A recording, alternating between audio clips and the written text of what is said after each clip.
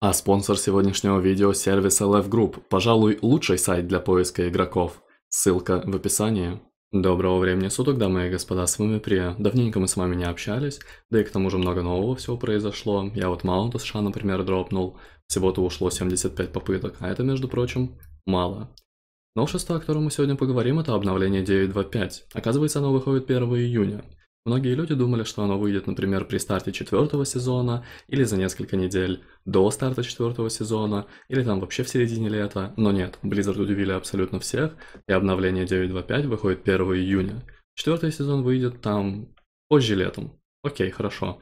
Быть может это будет июль, август, компания Blizzard сказала о том, то, что это будет еще сказано заранее, и игроки успеют абсолютно все-все-все сделать. Окей, Blizzard, мы поверим вам, так уж и быть.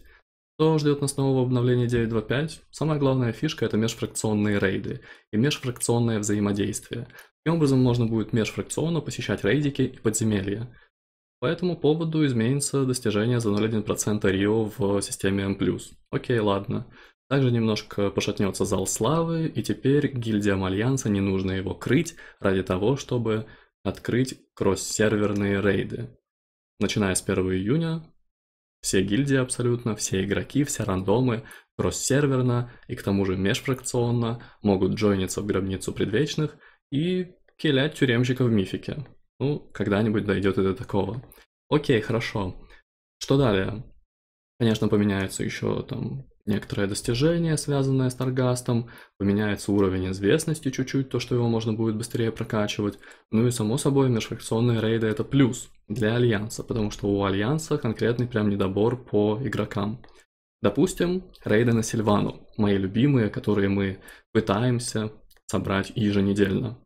Что получается на текущий момент? А на текущий момент просто нету бойцов дальнего боя с целью того, чтобы нормально отыграть первую фазу. По этой причине мы не можем собраться.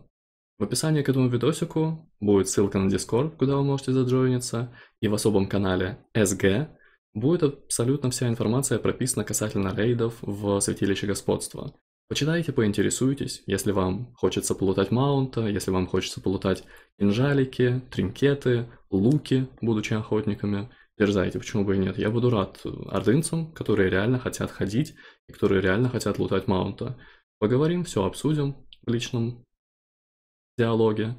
И я думаю, все останутся довольны после этих рейдов, и рейды наконец-то будут собираться. Что еще можно сказать касательно обновления 9.2.5? Там будет новая мета-ачивка, связанная с утробой, и связанная с вообще всем-всем-всем контентом Зерит Мортиса.